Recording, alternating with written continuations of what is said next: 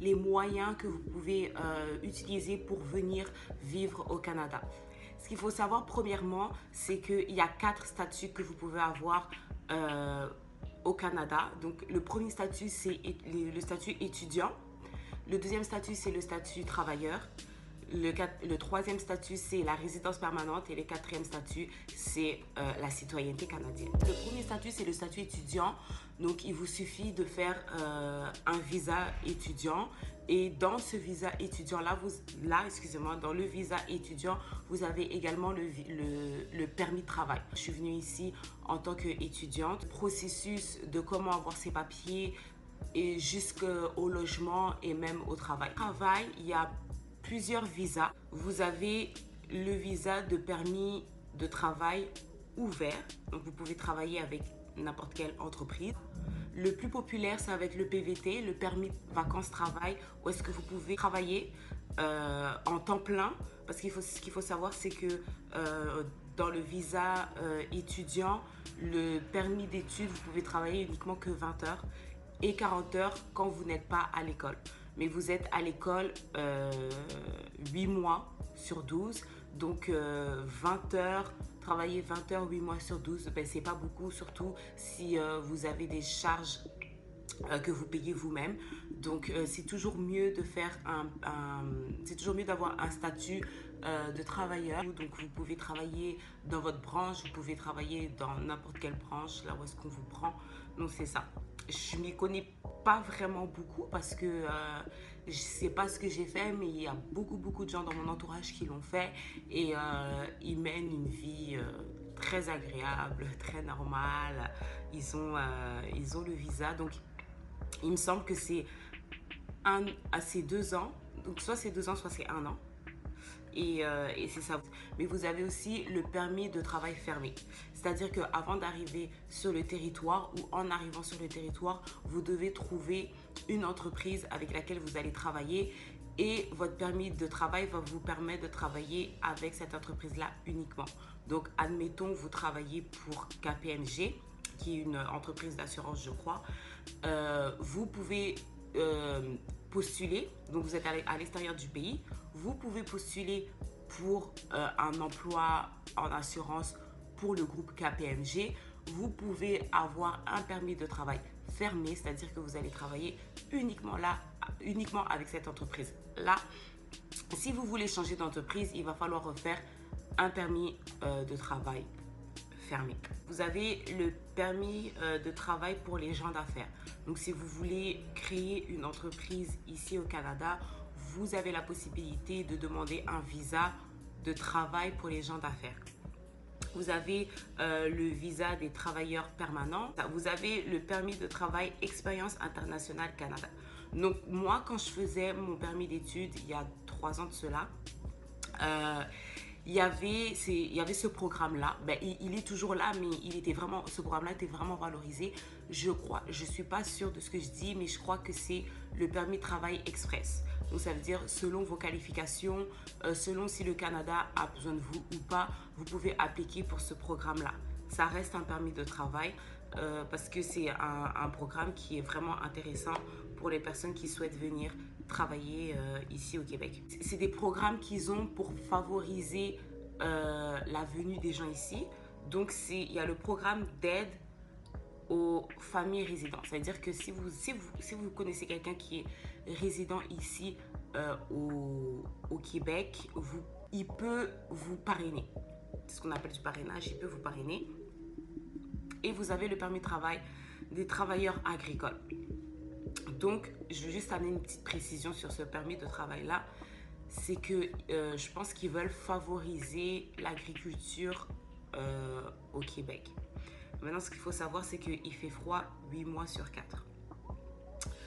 Ça peut faire peur. C'est quand même assez risqué. Parce que vous vous dites, ok, mais euh, la plupart des produits qu'on qu qu travaille avec la terre, on a besoin euh, d'eau, etc., d'un certain climat qu'il n'y a pas forcément ici au Québec. Maintenant, moi, je ne m'y connais pas. Mais euh, avec les avancées technologiques qu'on a, je pense qu'il y a quelque chose peut-être c'est très risqué. J'en dis qu'on vient pas, c'est super risqué, mais il y a peut-être quelque chose à faire. Donc, s'il y a des gens qui sont intéressés et qui sont agriculteurs et qui veulent venir euh, au Canada, au Québec, à Montréal, il y a tellement de possibilités que euh, ne négligez pas ce permis de travail-là parce qu'il peut vous ouvrir des portes. Là, vous avez euh, le troisième statut qui est le statut de résidence permanente. Donc, vous pouvez le faire à partir de la France. Maintenant, moi, ce que... Alors, en tant qu'étudiante, ce qu'il nous conseille de faire, c'est de passer par les deux statuts précédents. Donc, on, était, on avait le statut étudiant. Après le statut étudiant, il nous offre, il nous offre, bon, on a la possibilité de faire un permis de travail qui est la durée de nos études. Donc ça veut dire qu'on a trois ans de permis de travail. Et dans ces trois ans de permis de travail-là, on peut faire la résidence permanente. Parce que la résidence permanente, c'est un an. Donc la résidence permanente, il faut avoir, la résidence permanente pour le Québec, il faut avoir euh, le CSQ.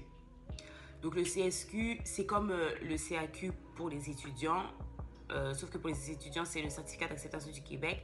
Mais pour le, pour, le CSQ, je sais je vais vous mettre l'acronyme en bas parce que je ne me souviens plus, mais c'est un papier que le Québec va vous octroyer et va vous dire vous êtes le bienvenu au Québec.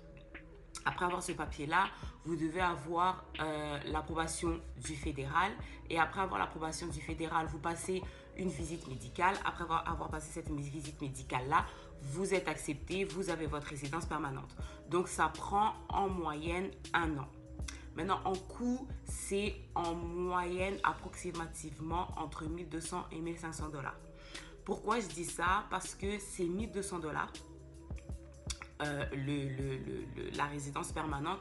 Mais si on compte euh, l'argent pour les photocopies, l'argent pour les photos, l'argent pour l'envoi des papiers.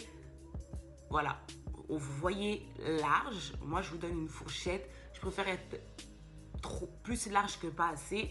Donc, c'est entre 1200 et 1500 dollars. Donc, c'est quand même un coût. Euh, donc, si vous avez la possibilité de d'abord venir travailler ou étudier et ensuite de faire votre résidence, c'est beaucoup plus. Personnellement, je pense que c'est mieux que de faire ça straight up. Mais il y a beaucoup de gens qui l'ont fait aussi comme ça et qui sont arrivés, qu'il n'y a pas de problème. Là-dessus, c'est la citoyenneté canadienne. Donc, euh, la citoyenneté canadienne, donc vous êtes canadien. Donc, c'est ça. Euh, je, sais, je, je, vais vous mettre les informations en bas parce que je ne sais pas c'est quoi le processus.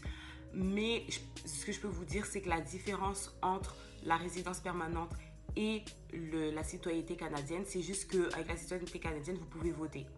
Donc, euh, si, ça fait un an, deux ans que tu es dans le pays, bon, euh, tu veux voter, euh, bon, c'est, la résidence permanente, elle, te permet de tout faire.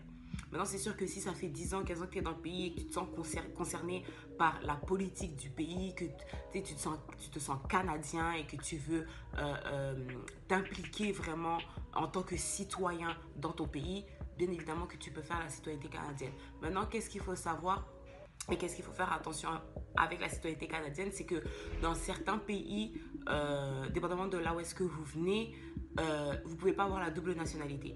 Je parle entre autres des Belges et euh, des Aérois. Donc, faire attention à ça pour quand vous faites votre demande de citoyenneté, de citoyenneté pardon. Maintenant, je vous dis, la résidence permanente, c'est assez pour venir vivre euh, au, Québec. Donc euh, voilà, pouvoir aider aussi les autres euh, à immigrer parce que je trouve que c'est super important de pouvoir aider les autres parce que moi, euh, j'ai, il y a, y a, quand même beaucoup de forums, surtout je pense au forum PVTiste qui est juste génial et qui t'aide euh, vraiment dans, dans, tes démarches. Mais si on peut être le maximum de personnes qui, euh, qui, qui, qui, peut aider des gens qui veulent venir au Canada, il faut le faire. Surtout si vous voulez venir vivre au Canada, n'ayez pas peur. ne vous prenez... Ben, euh, il suffit juste d'être bien organisé. À partir du moment où est-ce que vous êtes bien organisé et que vous avez les bonnes informations, tout, tout, se, passe, tout se passe bien. C'est sûr qu'il y a toujours des, des imprévus, c'est normal, c'est la vie. Mais c'est pour ça que nous, on est là, ceux qui sont déjà émigrés au Canada, c'est pour ça que nous, on est là pour vous aider au maximum.